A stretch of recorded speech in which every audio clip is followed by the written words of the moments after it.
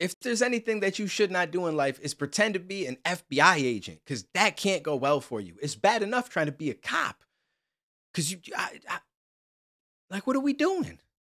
This lady that's irate gets arrested for impersonating an FBI agent and she yells, I want my attorney. I bet you do.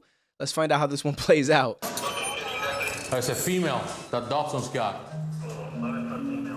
What's going on, Dobson? Disorderly intoxication, resist without violence. Step out of the car. I would like to have my attorney present. Nope. Step out of the car. Cooperate with the process, and everything will roll smoothly. I didn't do anything to cause disorderly intoxication. She had been identifying herself as an FBI agent and accosting patrons in front of the restroom. The bouncer physically removed her from the bar, and that's when the disturbance ensued outside. And she's got charges from multiple DUIs, battery on LEO, possession of cannabis, possession of marijuana, worthless checks. 13 times and she's pretending this is the first time, the way she's been acting. Absolutely. I need my attorney. Sit down in the great chair. Turn around. I'm perfectly fine. I wasn't disorderly at all. This officer um, was upset because his friend told him that he didn't want me there because I was messing with his girlfriend. Listen to him. He's going to explain to you what's going on. You had to be physically removed from the bar. No, I'm guilty of dancing with a girl that was part of the owner's group. Okay, listen to what he's going to tell you. Listen, what I need you to do is take a deep breath. I the did not, no. This has nothing to do with driving. I This wasn't has doing nothing anything. to do with This has driving. yes, I has need my nothing to do attorney. with driving. We just need to know what your alcohol level is. I need my attorney. Are you going to take the test or not? I want Yes my or no? attorney. Do I not have a right to an Stand up. attorney?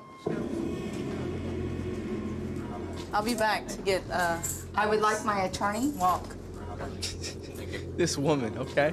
Obviously, you're too intoxicated right now to go through with the process. You're going to be placed in here until you can I sober am not up. obviously intoxicated. Well, you I refuse. obviously Listen. I obviously want my Listen. attorney. Go down Listen. to your knees. On I your want knees. my attorney. Down to your knees. Go Lady, I am not down doing anything on your knees. All I want is my attorney. On your knees. Okay, Thank you. All the way down. I got you. good luck. There. Don't move. All I did was tell you, Ma'am. no, You're not not listening. You treated me like a common criminal. You're not as if listening. I had no right to my attorney. You are going to jail. The amount of videos that I watch like this where the people are like, you didn't do this, you're going to jail. I'm suing you for everything. You're gonna lose your job. And and the times that it actually happens that way is so slim to none. But it's just crazy how as soon as people have a few drinks, they're immediately the the the arbiter of the law. They know exactly what is happening. It's kind of funny. It's kind of funny. We are already here, ma'am. Guess what? You're going to hell. I got lawyers up the ass. That's fine. Listen to me. Bye. The handcuffs are fixing to come off. When they do, I want you to place your hands above your head. Do not get off the floor until you hear the door shut. Do you understand that? Mm. Do you understand that? Whatever. I have the right to an attorney. And he will be here. Her attorney's got to be tired of her, bailing her out on a regular basis. I'm coming for you. Check your feet. Have a seat. Have a seat. All right. Sit down. Put your hands on the counter and spread your feet. Gotta search him. It's acting a little weird to me. Okay. You came in with You your 95. fun? I Listen. haven't had fun yet. Stop banging on the door. Let's go. What's up? Where we going? You're going to the holding cell. That's where you're going. Me and you? Oh, no, not me and you. You don't want me and you to go in there. Take your shoes off. Just my shoes? Just your shoes. That's all you my need to take off. Why would you need to take off your pants? Uh, I don't know. I'm asking you. Uh, I Step in know. there. Are you a Step in there. I think he's just angry being here for an open container. I guess he doesn't think that's a crime, but it is. Hang on. I'm He's running his get mouth it. way too much and getting me a little bit too aggravated, so he's gonna go in there and sleep it off for a while. Huh? Relax. Maybe when he comes out, he'll be ready to go to come the out. process too. One of those nights. That's interesting. When I was uh, younger, I, I may have said this story in a different video, so if you've watched it, I apologize. But me and a friend were walking between bars. We were young, we had chalked IDs, and I, I- some reason decided to take a sip of his beer in between like 10 steps away from the next bar. And obviously, you can't have an open container outside. The cops across the street saw it, came over, started to talk to us about it. He decided to mouth off, which led to them checking our IDs, rubbing off the, the, the chalk on it, you know, because it was this was back when you just write with a little colored pencil and you could make it look a little bit different. And, you know, we got ourselves in a little bit of trouble except it would have been fine. They actually were going to let us go from the very start if he wasn't mouthing off. So a lot of times that's what really gets people to that next stage of trouble because there's times where the cops are going to let you go. And he ended up getting cuffed. I didn't because I acted cooperative. We got brought in and then they cuffed us. Like, I, I guess maybe we're, we have a jail here. They don't have a holding cell or they just didn't bother to use it, but they just put us on this bench along the wall and cuffed us to this metal pole that went down the wall. And we just sat there for a little while. And it, it- it wasn't the worst thing. I guess maybe after that we were in somewhat of a holding cell. Like there was a, it was almost like you're in one of the stores where they have the the bulletproof glass, like the uh, plexiglass or whatever, and we had to wait for someone to come and, and take our information or do something, and it was just this boxed up area, and we just had to stand there for for quite a while. But eh, a lot of times, you just gotta just chill out. If you just chill out, things tend to go your way a little bit more. Like I, I just, even when I'm drunk, I just don't see myself ever acting like that. It just doesn't make sense. I feel like I have enough intelligence to know that even in those situations, it just doesn't work in your favor. But some people, it just they just go off. They just don't they don't have that comprehension or something. He came in with an attitude problem, right off the van, the Papa Tango van that brought him in. He wouldn't comply coming into the door. He continued to run his mouth. Is that yours? Take it down. Take it down. Is he trying to hurt himself? No, he's just, no, he's not suicidal. Just stand right. Give me the shirt. Give me the shirt. This is my shirt. Give me the shirt. I want me to give you this other shirt. No, I want the one you took off. Then give me that one too. Give me the socks. Give me not the one. I don't want your clothes. Give me the socks. What else you want? Have I been chilling yesterday? No, you have not. You've been banging on the window calling for me. That ain't chilling. Just now? That ain't chilling. No, I talked to this lady and that lady, and they told me, me no understand, no stop it. What do you think, sir? You know, this is not right. You've been here an hour. You have five more to go. Okay, so that's what you tell So me. uh, five more later, we'll talk. Oh, okay. Well, then tell me something. I got I don't have hours. to tell you. You don't have No, to. No, I don't. But you got the right to tell him something. How do you know what I talked to the man about? How the hell you don't move from here to here? let's go. I'm through with him. chair in my door. I'm done with him. chair? I'm done with What you. is this chair, sir? I'm done with you. What is this chair? I am done with you. Use the chair. What is this chair for?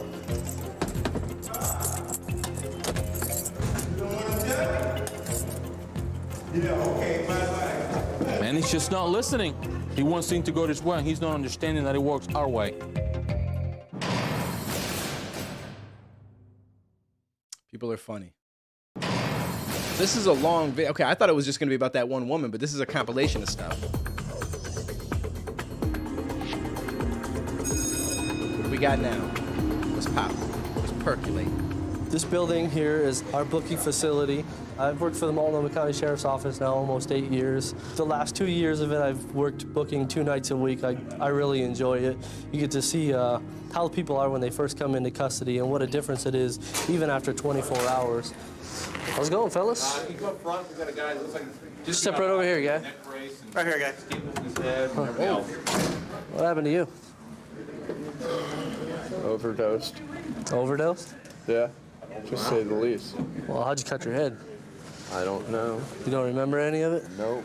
You don't remember what you were out with taking? people with a bunch of different drugs, and most likely it was acid. They said I almost died from lack of blood, and I don't remember any of the drugs. Well, the size of that gash on your forehead, I could see why. What's your first name? Scott, That's not Scott? good. Oh my What's goodness. name and medication? a long time ago. All right, we're gonna talk to you inside and we'll make a plan with you. According to the officers, he uh, was running around Southeast Portland, no clothes on. He broke into a lady's house. She was home by herself. He uh, jumped through the glass door. He grabbed a stick of some sort and was hitting her with it. She was able to fight him off.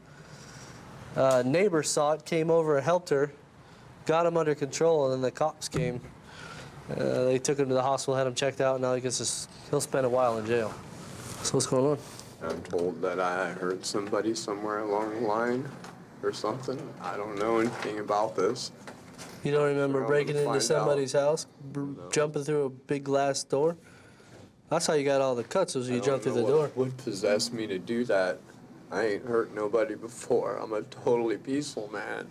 He's, I don't know what would possess me to do that. The acid possessed you to do that. I believe this man that he's probably peaceful and he normally wouldn't do that stuff. But sometimes these drugs, it changes things. That's why I, I, I would never, ever, ever try acid or anything like that. Personally, it's not really for me. And part of it was when I was in 12th grade, I remember my teacher gave us a story about her brother when they were younger did acid. And he still is getting helped in mental hospitals and so on. It's like he never really fully came down from his trip and it just, it ruined his life. All I had to hear was that in 12th grade and became a no for me forever. Never will I ever try that drug. Everybody that knows me knows that's what I fight for. They're ready to talk to you. Six months ago, he came in for a similar charge, and here he is a year and a half later, and uh, at least 12 counts of assault, a couple counts of burglary and kidnapping. It's amazing how fast people spiral downhill when they're on drugs. That's wild. That's wild. Uh, this is a female that was Portland arrested her when they called in. Imagine actually not remembering it, but you're gonna have charges that are gonna change your life. That's that's why you don't do that stuff. She was uh, combative. She's in the back of the car yelling and screaming. So we're gonna go out and make contact with the officer and see what's uh, going on. Hi. All right, Kimberly. You realize where you are now, right? You understand you're in jail? For nuisance 95, but yeah, I got my pants. Okay, Were you you gonna gotta cooperate cooperate with with A us? female officer's gonna search you, all right? You don't have any drugs on you, do you? No contraband? You don't carry needles? I, in my purse, there's. In your I- purse, I- there's needles? Yeah, I like to know that, yes. You use them for diabetic, you use them for inter, you use them for drugs. For drugs? What kind of uh, drugs do you normally take? Meth. Meth? I was just gonna say that. That's super unfortunate because on her face it looks like she has a bunch of spots. And at first I was trying to tell, like, eh, I, I was like, there's no way that she has moles like that all over her face. But it's most likely scratch spots. Like you end up with like these, I, I, people call them like meth scars. I again wouldn't know because I've never done it, but it's definitely something that I've seen before. Whether it's on the face, it's on a leg, it's on your arms, it could be everywhere. Like it, it just you'd be itching or scratching or something. I I, I don't know the exact. I, I don't know if it's because it makes your your body itch or just the withdrawal. You start doing it out of like anxiety, but it's super super sad to see. I always wish everybody the best. Like I, you know, at the end of the day, I hope that she gets clean, same as anybody else in this situation. Um, but when you do some wild stuff, you have got to be held accountable. When's the last time you used meth? Just a couple hours ago? All right. So what happened with her? Her ex-husband, her were arguing. She wanted money to buy meth. Um, they got in the car. He tried to call the police a couple times on his cell phone. She took the cell phone, threw it at him, cut his eye open pretty good. So the majority of it happened when they were driving? Yeah. With two young kids in the back? Right. Nice. So here he is, he's driving your truck, he's got your two young kids in the back. Because he was threatening to take me out to Gresham. Beat the hell out of me.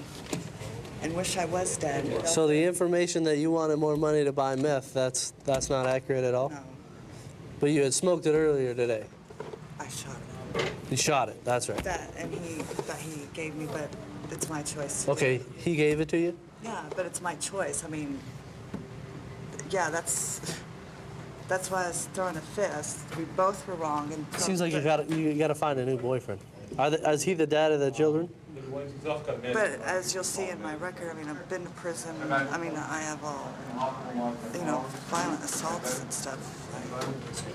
All all all, all revolving around drugs? No, I feel bad for the kids. violence. That's just one out of, I think there's. You weren't doing drugs at that time? Actually, no. Well, that's good. All right, let's go have a seat in the chairs. Wow. Two young kids in a car fighting over uh, money for meth. She ends up throwing a video game at dad, busting his eye open. She That's crazy. gets brought to jail. She could have easily caused an accident doing that. You got your kids in the car. The kids have to see this. Like they'd probably like that's the thing. As a kid, before you even reach a certain age, like you don't even understand life yet. And you're seeing this interaction that is just so beyond your your actual comprehension. And it's gonna mess you up forever. It, it it just really is. Like I I feel so horrible for these these kids in situations like this. It's just not. It should never be like that. It should never be like that. As much as I hope and wish that she gets it together, her husband, all these people get it together, I don't know that they should have their kids. And I, I hate to say that because you never know where the kids end up. It doesn't mean it's going to be a great place, but I feel like it, it's got to be better than here. And I'd like to believe that it's going to be much better than that situation. So that's a that's a really really tough one. It's just so sad. Comment down below. Let me know what you guys think. If you guys want more of these videos, Law and Crime got some good uh, good content. I always put a link down below if you guys want to go show them some love. I will catch you next video.